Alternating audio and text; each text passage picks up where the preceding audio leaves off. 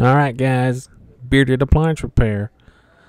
This is us. We're going to help you fix it. We got ourselves a side by side GE refrigerator today. It's a little older. It's probably close to 10, 12 years old. But what we got going on, no cool situation. And our compressor is now powering up. So this video specifically is about the inverter on, you know, these GE refrigerators. Um, if that condenser fan is running, your compressor should be running. So what we're doing in this video is we're going to show you guys how to diagnose um, whether or not you need a control board, a inverter, and or compressor. And to start off with, it's really hard to tell if you need a compressor, if it's like locked up on the inside, if it tests good electrically, the only thing you can do is get a new inverter, put it on, see if the compressor cuts on. But to make sure that you don't need a control board is you got to make sure this guy is getting um, 120 volts at this connection right here which we have 119.7 that is perfect and you also need um, anywhere between 5 DC to well, I don't even know what it goes up to, but I've seen five, I've seen seven, I've seen nine. Um, it's a variable speed compressor, so um, depending on what this DC voltage is, tells the inverter to power the compressor at a certain speed. So um, if you got anything around five, six, seven, eight, nine, ten, um, you know that your board's good. You need 120, and you need a reference voltage of 5 let's say 5 to 15 i'm not sure. But if you got zero um, we know we're not getting that voltage from the board and likely you'll need the board. And if you guys noticed i have that control board cover off. And i also changed out this control board. I don't have a video of it but um, whenever i first came it wasn't it was getting the 120 down to the inverter, but it wasn't getting um, the voltage to actually tell the inverter to turn the compressor on because it's initially or kind of like a relay a little bit. Um, that 120 is what actually powers the compressor, and then the other voltage tells it how fast to go and stuff. So it needs both. If you don't have one or the other, um, you're looking at a control board. But if you have both, likely it's going to be your inverter as long as the compressor ohms out. And I will show you how to do that. Um, I'm going to get into getting this inverter off and we'll put the new one on. But I just want to make make sure you guys know that. Um, in this video here, I did it the same day because I put in that new control board thinking, oh, that's all it needed. Because um, again, it had that 120, but it didn't have that 5 to 10 or whatever voltage to actually turn the compressor on. Um, we didn't have that reference there. So I was like, okay, we need a control board. I got that sucker ordered, came back, and put the new board on, and noticed that this compressor still wasn't powering on. So did the checks again, got the 120 again, and then we have that reference voltage there.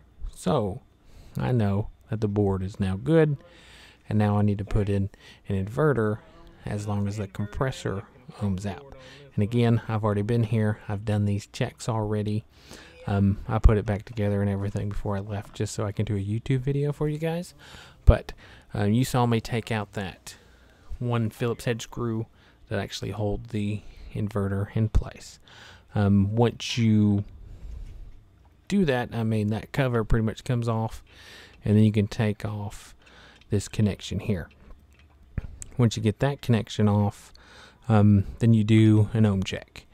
And on these types of compressors where they have inverters from all three pins, like let's say there's three, so you go from one to two, and if that's six ohms, two to three, should be 6 ohms, and then 3 to 1 should be 6 ohms. So all, all pins should be ohming out around the same number. If they're not, likely your compressor um, is bad electrically. And again, like I said at the beginning of the video, you won't know if the compressor is bad mechanically until it actually starts powering on. So putting on an inverter on a bad compressor is kind of a risk because these these inverters they're not cheap. Um, I want to say this inverter here is probably $120 maybe something like that um i don't know i'll try and get it linked in the description down below for you guys um but yeah these inverters are not cheap control boards they're probably the same price as a control board if i remember right but here's the check where we're gonna ohm out the compressor uh, to see if pins 1 to 2 are good, pins 2 to 3 are good, and then to 3 and 1. And I did get, I want to say, well, we'll see here in a second. I think it's 6 or 7 ohms if I remember right. I will show you guys once I get situated.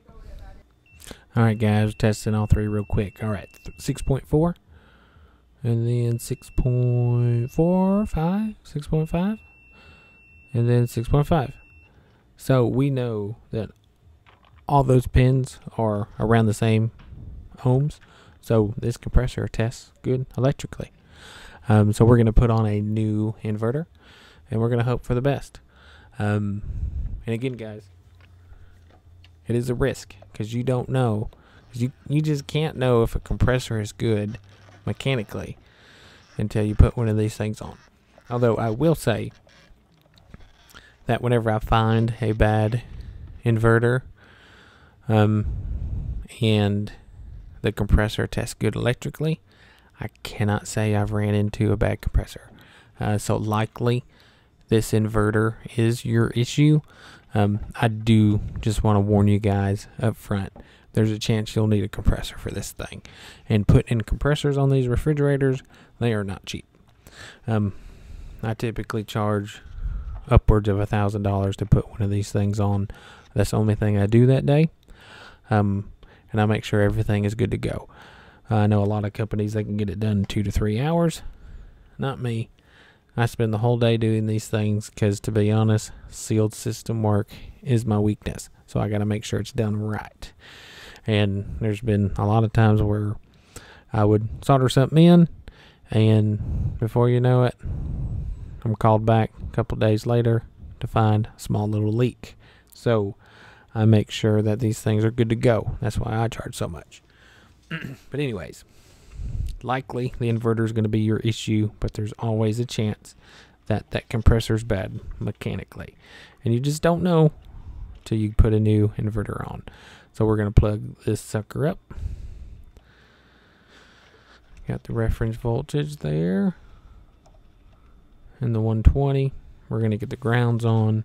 And we're going to see if things this thing powers up.